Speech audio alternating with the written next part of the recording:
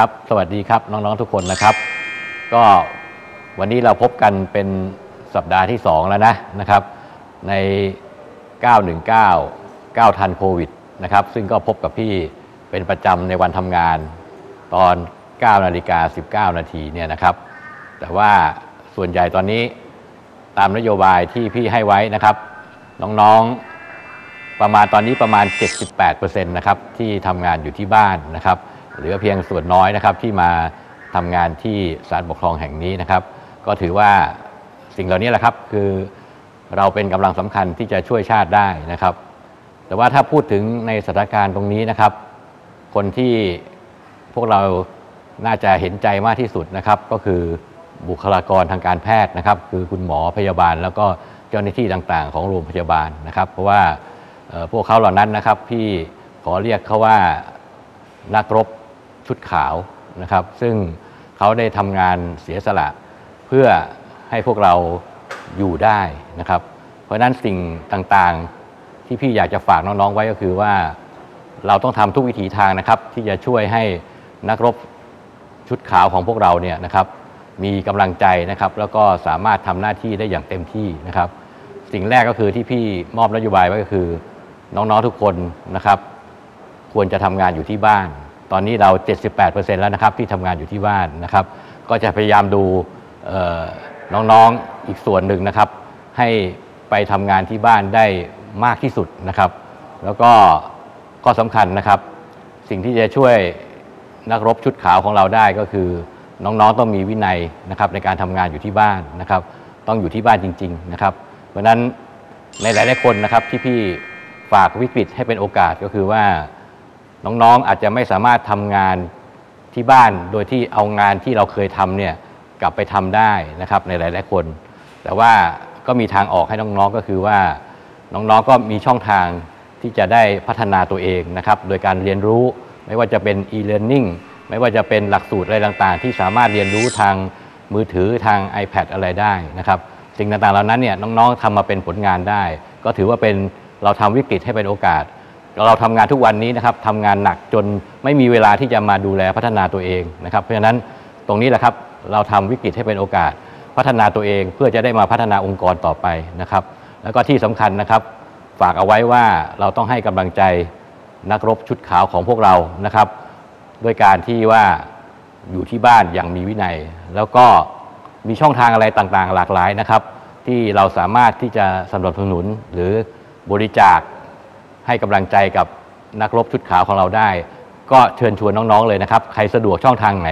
ก็ช่วยเหลือได้ได้ทุกทางนะครับความจริงแล้วตัวพี่เองนะครับ ใกล้คิดกับหมอมากเลย เพราะว่าคุณพ่อเป็นหมอนะครับ คุณพ่อตอนนี้อายุ 90 แล้วความจริงก่อนหน้านี้ คุณพ่อไปทำหน้าที่แพทย์รักษาคนไข้อยู่ตลอดนะครับ แต่ช่วงนี้ลูกๆต้องขอร้องให้คุณพ่ออยู่กับบ้าน เพราะคุณพ่อก็เป็นกลุ่มเสี่ยงเหมือนกันอายุท่าน 90 แล้วนะครับ แต่คุณพ่อก็ฝากมานะครับ ให้ พี่มาบอกพวกเราด้วยว่าช่วยกันให้กำลังใจนักรบชุดขาวของเรา ซึ่งเป็นทัพหน้าของพวกเรา ให้เขามีกำลังใจให้มีแรงต่อสู้นะครับ ก็ขอส่งความรักความคิดถึงไปถึงนักรบชุดขาวนะครับ ว่าพวกเราชาวสารปกครองรักคุณนะครับ ครับขอบคุณมากครับ ขอให้น้องๆ อยู่ที่บ้านอย่างมีวินัยแล้วก็มีสุขภาพที่ดีนะครับ ปลอดภัยนะครับ แล้วก็ช่วยกันทำงานช่วยกัน ให้กำลังใจนักรบชุดขาวด้วยการทำงานอยู่ที่บ้านอย่างมีวินัยครับครับ สวัสดีครับทีโรคลดทันทีเลยนะครับทีของนี้เรามันในมีกบางระแสข่าวออกมาค่ะ คุณหมอว่าครับเอ๊ะถ้ามันไปแตะผู้ติดเชื้อเนี่ยแตะตัวเลขถึงหลักแสน แล้วคุณหมอจะลาออกข้อเท็จจริงเป็นยังไงบ้างคะคืออย่างนี้ครับ ผมต้องกลับกลับจริง ๆ เลยนะครับ เพราะว่าผมเป็นคนให้ข่าว คือผมมันไม่ได้เป็นคนใหญ่คนโตอะไรนะครับ คือถ้าตัวเลขวันที่ 15 เมษายนเนี่ยถึง 3 5 0 0 0นะครับค่ะผมก็ต้องแสดงความรับผิดชอบครับ อันนี้คือคือเรียกว่า เพราะว่าผมเป็นคนพูดกับพี่น้องประชาชนทุกวัน อธิบายทุกวันอืมสร้างความเข้าใจทุกวัน แล้วผมสร้างความเข้าใจจนพี่น้องประชาชนไม่ทำตามทำตามไม่ได้เนี่ย ผมผมผมก็ต้องผมต้องกราบเรียนนะครับ ไม่ใช่ว่าไม่ใช่ว่าอะไรนะครับ ผมขอความสงสารเมตตาผมด้วย ค่ะคุณหมอค่ะค่ะ เข้าใจคุณหมอเข้าใจนะควาคะมเราให้กำลังใจค่ะทั้งคุณหมอครับแล้วก็บุคลากรทางการแพทย์ทุกท่านนะคะที่หมอเขาเหนื่อยมากนะครับ ค่ะค่ะทุกคนเลยเขาลำบากมากนะครับค่ะแล้วก็ขอให้พี่น้องประชาชนช่วยกันนะครับ คนคนส่วนใหญ่เป็นคนดี เราไม่ได้อยากจะใช้มาตรการอะไรแรงๆเลยนะครับ แต่ว่าเราออกมาเนี่ยเพื่อควบคุมคนที่เขาไม่ทำตามระเบียบวินัยเท่านั้นเองครับ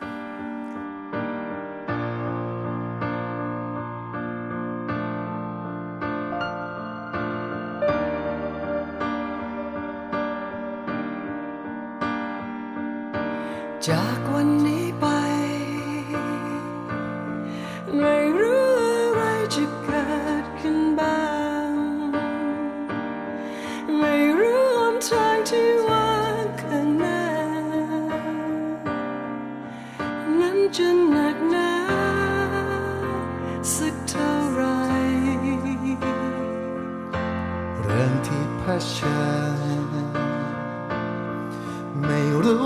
จะจบลงเมื่อไร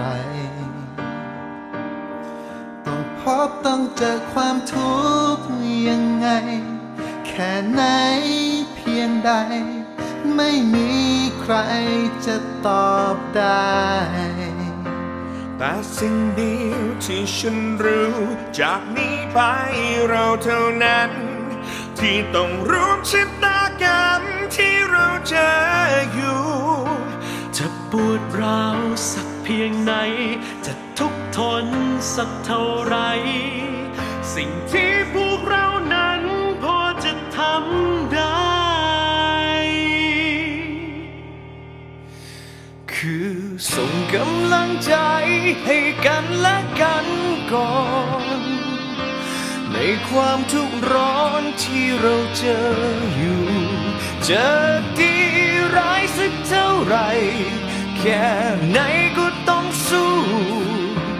ถึงแม้ไม่รู้จะเจออะไรขอส่งกำลังใจ ให้เราได้เดินผ่าน ไม่ว่าเหตุการณ์เป็นแบบไหน และถึงแม้ทุกๆอย่าง นั้นต้องเริ่มใหม่ แต่เธอและฉัน จะไม่ทิ้งกันจำไว้ เราเหมือนไปกวางในฤดูล่าสัตว์มันหนังดราม่าที่อยากให้ภาพปัดวันที่ทุ่มเทและเกมหมดหน้าตักกลับกลายเป็นสูญสลายและกลายเป็นกองซากหลักกลายเป็นลากหนักมานานแล้วติดแงกเหมือนกับเก่ากลายเป็นสถานการณ์ที่ต้องอยู่บ้านแล้วหลับกันยาวเวลาเดินช้าไปชักเข็มสั้นและทักเข็มยาว แต่แล้วเธอเชื่อหรือไม่ว่าฟ้ามืดจะ เห็นดาวฉันเห็นแสงแพร่พาปรากฏอยู่ในไมตรี เห็นความรับผิดชอบและกำลังใจผ่านไอจีเราจะสู้วัด C O V I D ด้วยคำว่ามิตรภาพไม่ใช่สงครามหรือไพรีฟังให้ดีว่าโลกทั้งของ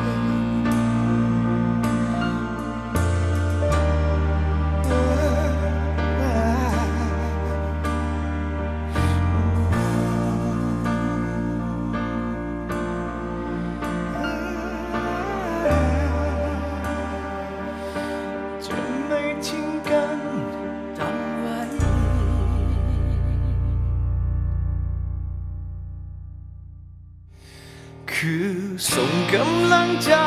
ให้กันและกันก่อน ในความทุกข์ร้อนที่เราเจออยู่